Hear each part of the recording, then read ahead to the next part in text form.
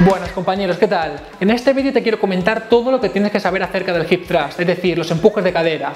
Sin duda es el mejor ejercicio que puedes realizar para trabajar tus glúteos de forma directa. Y te preguntarás, ¿por qué los quieres trabajar de forma directa? Pues simplemente mira este vídeo y entiende cuáles son los beneficios de incluir estos ejercicios. Sin más, vamos a ello. Bien, ¿por qué creo que el hip thrust es el mejor ejercicio para trabajar tus glúteos de forma directa? Bien, en primer lugar porque es muy sencillo de realizar. Simplemente te sientas en el suelo, colocas un punto de apoyo en la espalda y tu intención, como he dicho anteriormente, tiene que ser la de realizar un empuje con la cadera, es decir, realizar una extensión de cadera.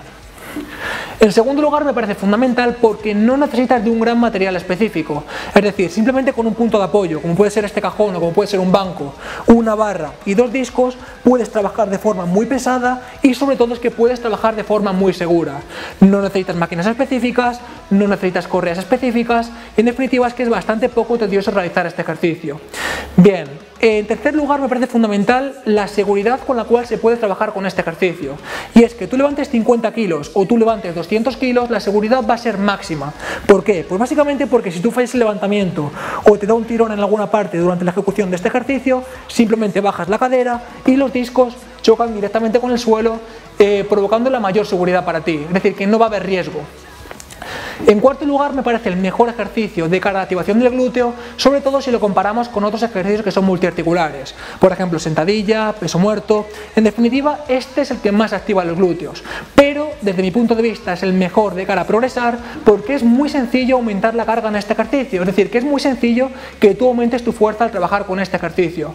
Por ejemplo, si tú trabajas con ejercicios que son más analíticos, pues bueno, puede que concentres más el trabajo de forma concreta en el glúteo, pero es mucho más complicado que vayas añadiendo peso a la barra o en ese ejercicio en concreto a lo largo de las semanas. Sin embargo, con el hip thrust vas a ver que en cuanto lo trabajes un poco a lo largo de unas pocas semanas, vas a poder mejorar muchísimo tu fuerza en los glúteos y tu fuerza en general.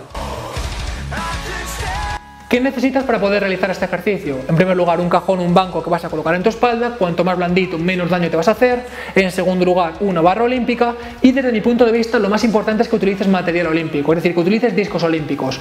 ¿Por qué? Pues básicamente porque son de mayor tamaño y de esta forma no te lo vas a clavar directamente en la pelvis en cada una de las repeticiones. Y es que la barra la vas a poder apoyar en el suelo de forma segura.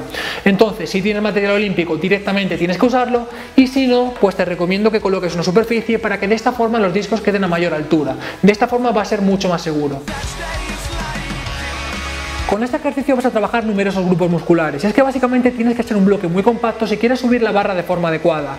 Entonces trabajarás principalmente el glúteo mayor, las fibras posteriores del glúteo medio y del glúteo menor, los aductores, los cuádriceps, los isquiosurales, el abdomen y los sectores de columna estarán en perfecta tensión para que estés bloqueado y puedas subir de forma adecuada. Y en definitiva es un ejercicio multiarticular que te va a reportar numerosos beneficios. Antes de empezar tenemos que tener tres cosas en cuenta. En primer lugar es que el banco, el cajón o la superficie que estará en contacto con nuestra espalda tiene que estar perfectamente bloqueada para que no se deslice hacia atrás. Colocar unos discos, colocar la pared y en definitiva nuestro objetivo es que no se deslice. En segundo lugar es que la barra que nosotros queremos utilizar tiene que estar perfectamente alineada con este banco o este cajón. Y en tercer lugar es que la zona de contacto en el suelo con nuestros pies tiene que ser una zona que no sea deslizante, porque si no es bastante complicado realizar el empuje hacia arriba. La colocación inicial va a ser muy sencilla, simplemente siéntate de forma cómoda en el suelo, mantén la cabeza neutra, extiende las piernas, este punto es bastante importante, y apoya la zona escapular en el banco, simplemente en la posición que a ti te resulte más cómoda. Normalmente suele coincidir con el borde inferior de la escápula, pero como digo, ve probando para tú encontrarte cómodo. Entonces nos encontramos en esta posición y desde aquí vamos a empezar con el ejercicio. Estamos exactamente en la misma posición. Ahora simplemente agarramos la barra con ambas manos, la rodamos hacia la zona superior de nuestra pelvis y flexionamos la cadera y flexionamos la rodilla para dejar la planta del pie perfectamente apoyada en el suelo. Los pies más o menos quedan a la altura de nuestros hombros. Agarramos la barra con ambas manos para una mayor estabilidad, colocamos la barra en la zona más cómoda de nuestra pelvis y si nos duele es importante que coloquemos cierto acolchado. Yo personalmente no suelo usarlo, pero sí que es recomendable para colocarlo en la espalda y para colocarlo en la barra. Por ejemplo, que se suele usar para, para realizar sentadillas. Bien, desde aquí con los pies perfectamente apoyados, la barra en una zona cómoda y el ángulo inferior de la escápula colocado en el cajón, estamos preparados para iniciar el levantamiento. El talón será el que se encargue de realizar el empuje. Eso quiere decir que es posible que incluso despeguemos ligeramente la puntera del pie durante este levantamiento. ¿Por qué digo esto? Pues básicamente porque tenemos que evitar el hecho de cargar el peso hacia adelante o incluso despegar el talón del suelo.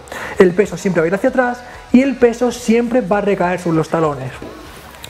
En segundo lugar, tenemos que ser un bloque tan compactos como sea posible. Eso quiere decir que glúteo, erectores de columna y abdomen estarán siempre en perfecta tensión durante el levantamiento y antes de iniciar el levantamiento, imaginamos que tenemos aquí la barra, tenemos que coger tanto aire como sea posible para aumentar la presión intraabdominal.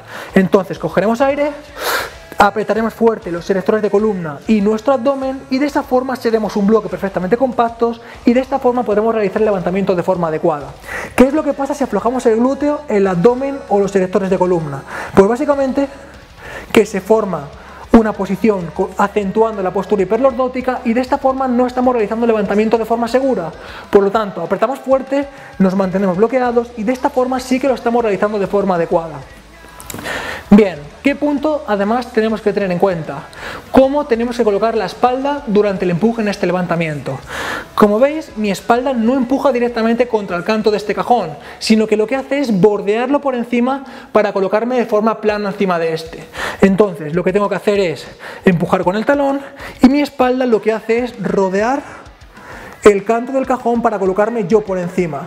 Directamente lo que no hago es empujar contra el cajón, es decir, empujar contra la esquina de este cajón, porque si no, o yo me voy a ir para allá, o el cajón se va a deslizar hacia atrás. En la fase final más o menos la tibia describirá un ángulo de 90 grados con el empeine y también describirá un ángulo de 90 grados con el fémur. En esta fase, la rodilla, cadera, columna, hombro y cabeza quedarán perfectamente alineadas y tenemos que evitar perder tensión para de esta forma no perder la postura. Bien, entonces, como hemos dicho, cargamos el peso en los talones, cogemos tanto aire como podamos y esta será la posición final. Nos mantenemos perfectamente alineados y mantenemos también la cabeza perfectamente neutra. Evitamos una flexión y también evitamos una excesiva extensión. Si queremos bajar, simplemente volvemos por el mismo sitio por el cual hemos subido, pero recordamos, mantenemos siempre la tensión en el abdomen y los erectores de columna. El glúteo siempre hace contacto en el punto final. Bueno compañeros, hasta aquí todo lo que quería comentaros respecto al hip thrust. Os doy un consejo, si notas la tensión en el abdomen y no en la zona de la cadera es que no lo estás realizando de forma correcta, por lo tanto tienes que seguir practicando y sobre todo tienes que intentar compactarte mucho más. Así que bueno, agradezco muchísimo vuestra manita arriba, sabéis que siempre las valoro mucho, sabéis que de esa forma me mantenéis motivado y bueno, no voy a terminar el vídeo aquí porque quiero dejaros algunos ejemplos para que veáis cómo se hace de forma práctica. Así que bueno, vamos a entrenar un poquito y os lo enseño. Un fuerte abrazo, muchas gracias.